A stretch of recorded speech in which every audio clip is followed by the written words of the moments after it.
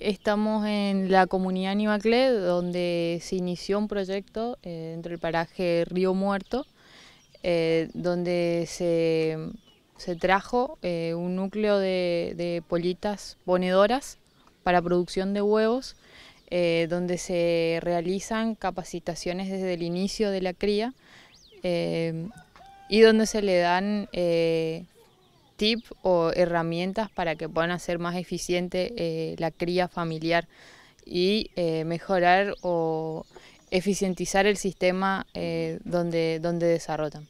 ¿Cuáles son, por ejemplo, algunos de los tips? Y básicamente tenemos herramientas de manejo en sistemas intensivos que se le dice, que es la cría totalmente encerrada en galpón, que se pueden utilizar en sistemas familiares como ser métodos de desinfección que permiten que no proliferen eh, microorganismos o agentes patógenos en el, en el gallinero. La verdad que para nosotros es algo histórico que, y algo grande, se empezó con 200 gallinas eh, ponedoras, se está trabajando con 20 familias que fueron beneficiadas.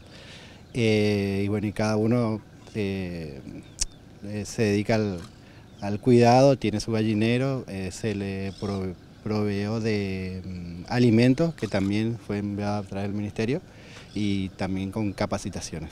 De las 20 familias, eh, ¿son todas criollas, son todas originarias? Eh, sí, hay mitad y mitad, son sí, 10 eh, criollas y 10 aborígenes. Ahora, ¿cómo es la, temática, profesor? ¿Se les enseña?